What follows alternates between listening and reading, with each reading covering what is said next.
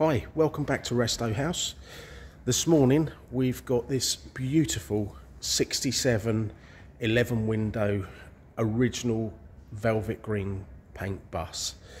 Um, it uh, you you know when when a vehicle's been owned by some of the the right people. Uh, it was basically owned by Lee Pickering of Rusty Lee's um, Rock and Roll Beds, um, and then Paul Irving of Irv's VW Restoration. Um, when these boys have owned the buses, you know how how particular they are, and the quality of this just stands out a mile. So it was originally a California Roadrunner conversion, um, came in from the States, and as you can see, the velvet green paint, so single colour, which is quite rare, um, 11 window Kombi. It still wears its original paint, obviously polished through, and fantastic patina where it's sunburnt. Uh, it wears all of its sort of scratches and dents and knocks, which a restored bus just obviously loses all of all of that. Um, super solid. Um, it it runs a 1776 twin carb lump.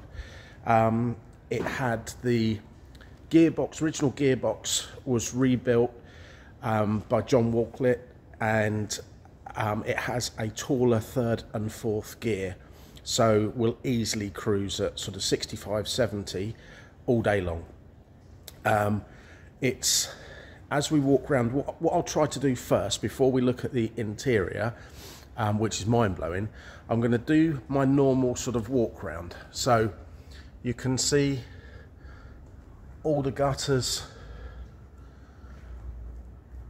are absolutely bang on. The only orange, if you like, is sunburnt or polished through, but there's no rot on the bus at all. If we then come down to the front panel, if you look along here,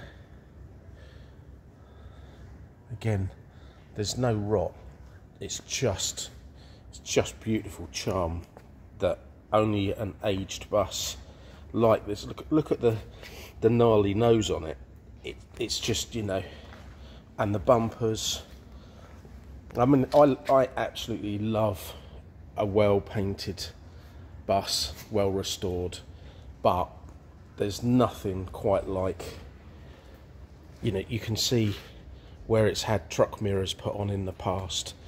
Um, if you look down through, you know, it's solid as a rock.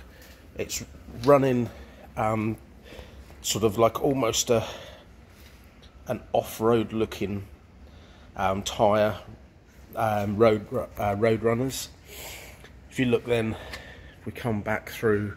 I'll tell you what I didn't do. Let me go along by the bottoms of the windows so you can see there's nothing to report on it but as you know I always like to show you where there could be anything.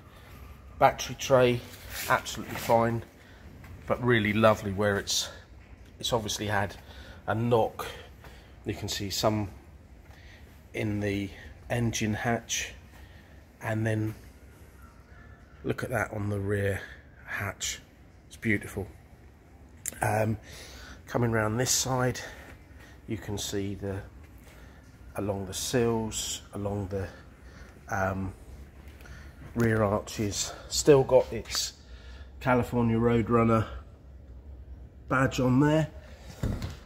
And then when we open it up, you can see all the original salt and pepper trim. Um, it's got a nice wood rim steering wheel and a retro sounds stereo with some amazing um, speakers and amps as we go back through. But if you look at the important stuff, everything's original. The floor mats, the arches there, um, underneath the doors are still perfect. Same on the other side. Bottoms of the cargo doors are, are perfect. And then if we open up, this is just takes you to a different level. So Nick at Air Interiors built this interior. Um, so it's still got all its original side panels, um, but he's built.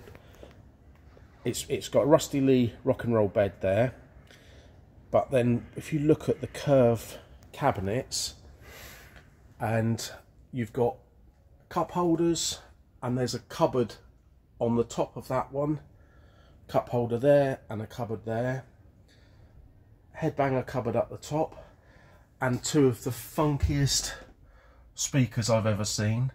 Um, they're 360 degree um, vintage speakers. There's some subs up there as well. Um, and then if you look on this side, I love the way the, the furniture looks really similar to to furniture of that sort of period. So, um, but also, if you look down the bottom of this cabinet, um, it almost looks like an old radiogram.